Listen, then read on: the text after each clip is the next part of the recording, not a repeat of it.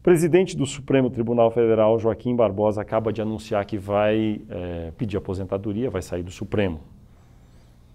Como será o comando do Supremo Tribunal Federal com Ricardo Lewandowski na comparação com o que tem sido com Joaquim Barbosa, na sua opinião? A condição técnica, é, não vejo muita diferença. É, são os ministros, o funcionamento do, do, Supremo tem a sua praxe, tem a sua rotina, e disso aí eu acho que não, a tendência é não, não alterar. O que vai mudar, o que eu vejo, é o, é, a, é o comportamento pessoal de cada um.